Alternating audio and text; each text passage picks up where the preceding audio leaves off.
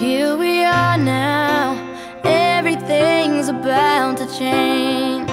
We face tomorrow as we say goodbye to yesterday.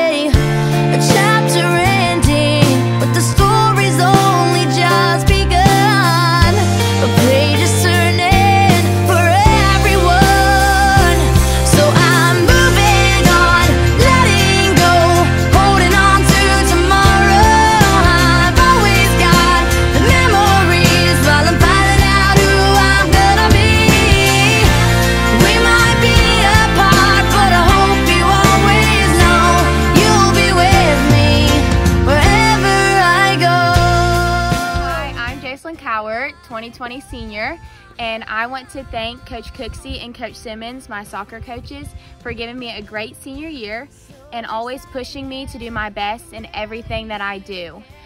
I hope the program continues to grow and good luck to next year's team.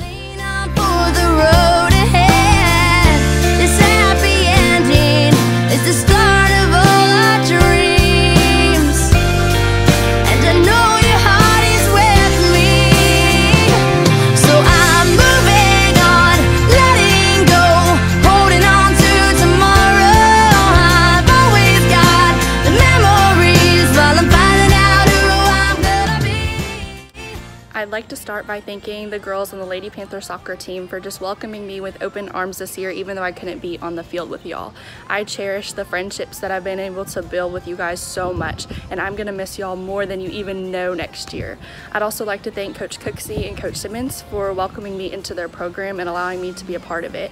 I absolutely loved the opportunities that we had to talk to each other on the sidelines to get to know each other better, and I have learned so many lessons from y'all watching you coach, and I hope to be able to apply those lessons to my own team as I coach one day.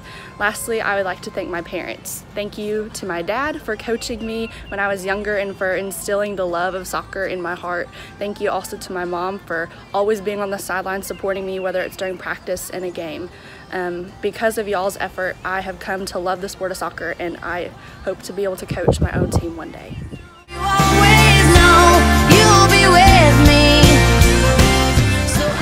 Congratulations to two of my seniors, one of which is a soccer player, Jacelyn Cowart. Um, you have had a fantastic season this year. I couldn't have asked for a better senior coming in as my first year coaching at Bullard. Um, you will do fantastic things at Louisiana Tech University. Also, congratulations on your graduation, Ashley Anderson. You will do amazing things at Mississippi State University. Um, as a manager, I couldn't ask for a better manager. You've done an outstanding job being there and supporting us. Um, congratulations once again, and best wishes to both of my seniors.